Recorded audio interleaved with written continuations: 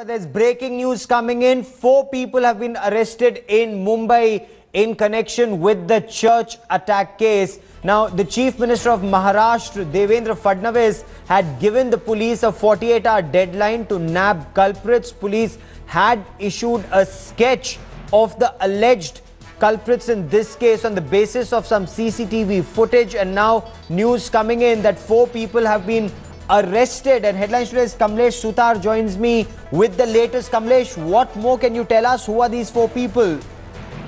Uh, well, uh, the, the information that has just uh, come in is that four people uh, have been arrested in the Panvel uh, church attack uh, case. Uh, one of them is reportedly named Rahul Patil, who used to run some illicit business in that area.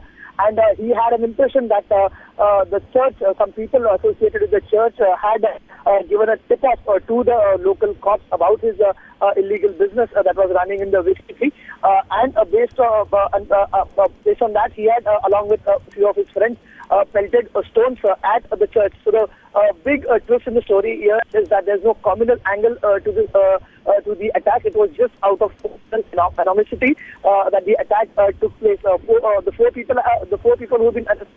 Uh, one uh, who was uh, on the bike based on the CCTV footage that the cops had.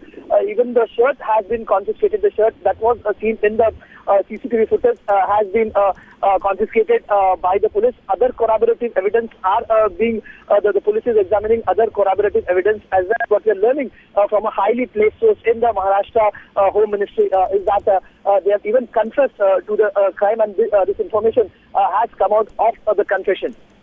Okay, so you are saying that this is a cast iron case that the police are building. They've confiscated uh, the, the shirt that one of the accused was wearing, and there is no communal angle to it. Explain to us in detail what your police sources are telling you why these four attacked the church.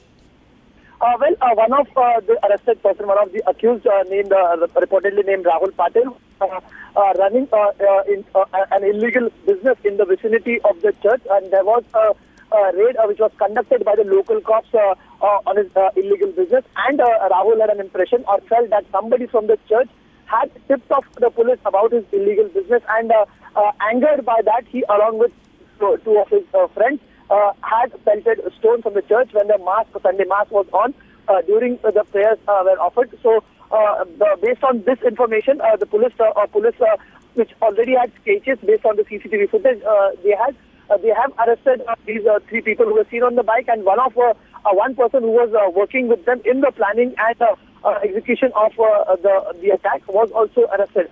Four people have been arrested. Further interrogation is being done, but what we are learning uh, from police sources is that they have confessed to the crime. Uh, as I said earlier, the uh, some corroborative evidences are also uh, being by the police. The shirt that was seen uh, in the CCTV footage, one of the accused was uh, wearing, is also confiscated. So the police yesterday had said that they have concrete leads to who has done this attack.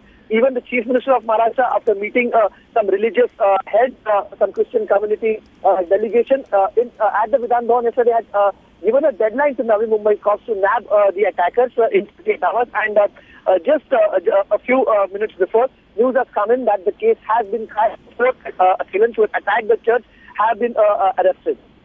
That's a big story that you're breaking here on headlines today. Four people have been arrested. Any of these four connected to any religious group, right wing group, political party, political group? Uh, have police investigations revealed any of this? Uh, well, when I uh, spoke to a very highly placed source in the Home Ministry, uh, he said that the police force feels relieved that uh, this attack as was seen uh, as a ca- ca- attack uh, by a religious organization or allegations uh, uh, by some political parties. Yesterday, uh, Jitendra Awhad from the NCP uh, had pointed fingers at the Sanatan Sanstha, uh, is active in the Panvel area, saying that the Sanatan Sanstha could be behind the attack, but uh, cops are relieved that this uh, attack, uh, the, the kind of primary information they have revealed out of the interrogation, uh, initial interrogation is that uh, this was only out of personal uh, uh, animosity, out of personal anger that the person had against uh, some associated with the church. So the, uh, the, the angle of uh, any uh, community hatred uh, is being ruled out Okay. primarily, but further investigation would uh, reveal who these people are, whether uh, they do have any connection, whether they have uh, connections right now, or have ever had any connections with any religious groups in the past. But for now, the cops sources in the Home Ministry are denying any communal angle uh, to the story. Keep tracking that story. I will come back to you for more.